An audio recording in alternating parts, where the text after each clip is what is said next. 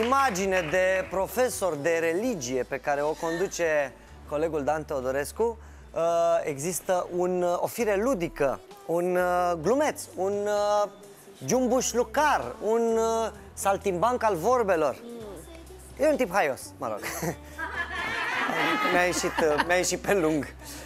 Dragii mei, astăzi o să vă rog să jucați împreună cu noi acest joc pentru a afla împreună ce cred Uh, românii și mai ales telespectatorii de Neața despre uh, lucruri sau povești între care e foarte, foarte greu să alegi. Știi? Când ți se dau două orele, de obicei trebuie să o alegi pe cea mai bună.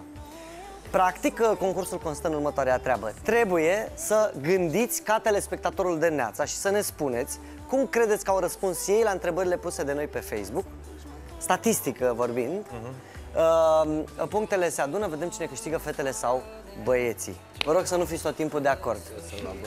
tu ești fetele. Dan este cu fete. Da. Atenție, okay. dar nu vă mai uitați acolo, e decorul. Da, a, ok. Și are legătură cu ultima de... întrebare. Și s-ar putea okay. să... Ăla de pierde s-ar, trebu... putea să trebuiască să mănânce ce e acolo. Bun! Deci avem o miză.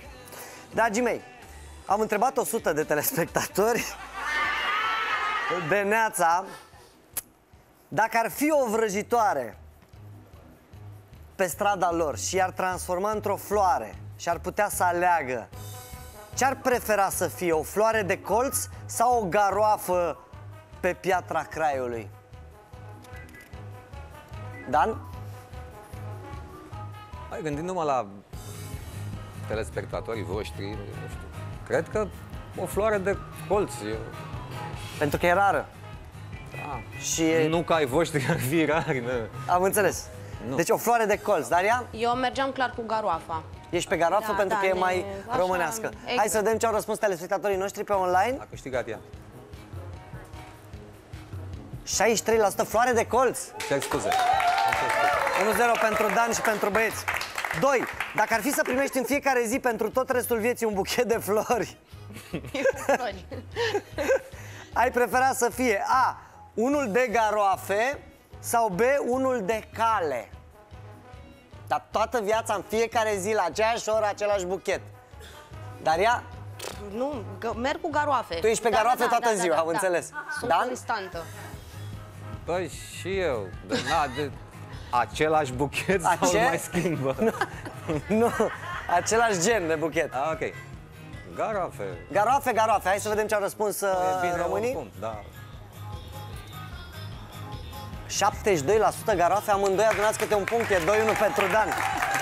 Dar eu având deja unul, am două. Dacă ne-am încălzit, acum trecem la cele serioase. Ce-ai prefera? Să iei lecții de tenis de la Delia sau canto de la Simon Halep?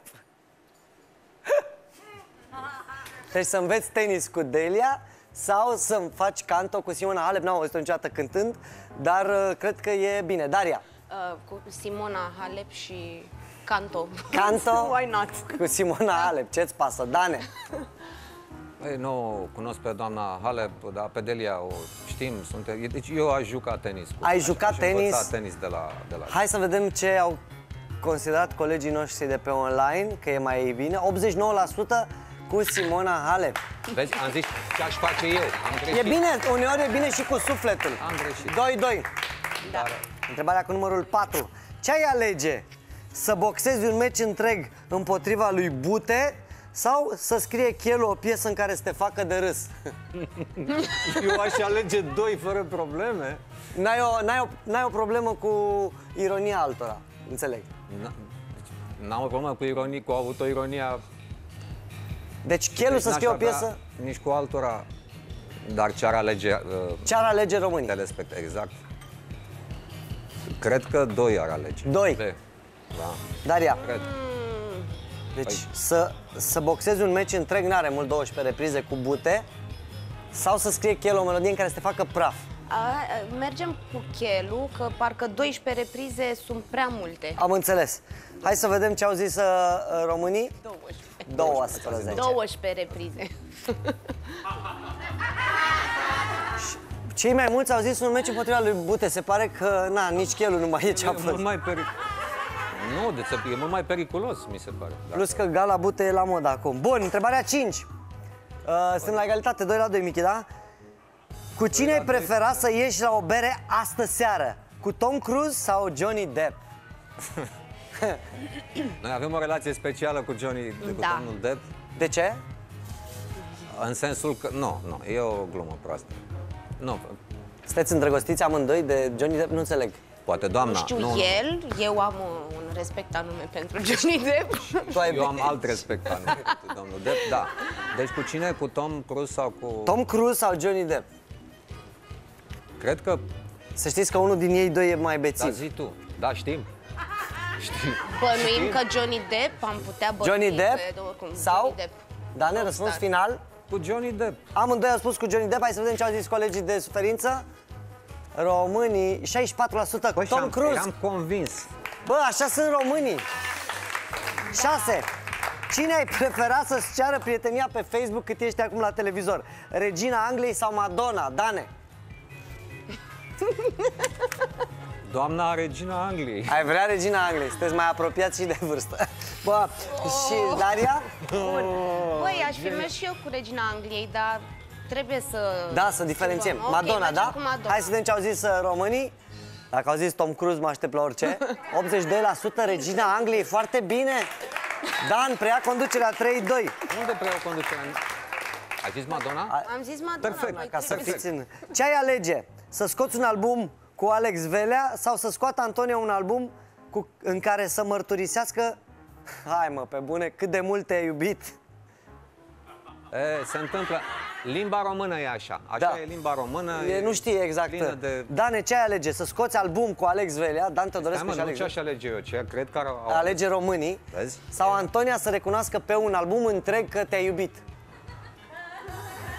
Cât de mult m-ai Cât iubit. de mult te-ai M-ai iubit Că Mănânci poate calul leovăz m-ai- Poate m-ai iubit așa un pic. Să... Pește-mă în doze mici Bă, varianta a 2 cu... Doi, merge cu Antonia Daria Și Cred eu că tot asta. cu Antonia. Tot cu Asta Antonia? Cred, cred, cred că a ales. Hai să vedem ce au zis uh, românii Antonia Cine nu și-ar dori? 4-3 Ultima întrebare, ce ai alege? Ca pentru tot restul vieții să nu mai poți citi altă carte decât Shogunul sau să nu mai vezi alt film sau serial decât Dallas? Deci doar Dallas sau doar Shogunul tot restul vieții?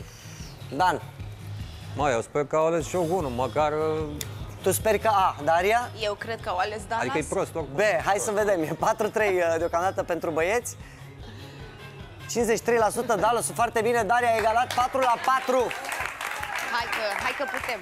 Pentru că e egalitate, nimeni nu va mânca prăjiturica, se termină și timpul, uh, dar uh, sigur ea se va reporta. Uh, Ați fi vrut, nu? N-avea cine să o mănânce, că e egalitate. Pierzătorul trebuia să o mănânce. Uh, Ne vedem și săptămâna viitoare cu același flori, fete, filme sau băieți. Vă rugăm să ne ajutați pe Facebook să răspundem la întrebări.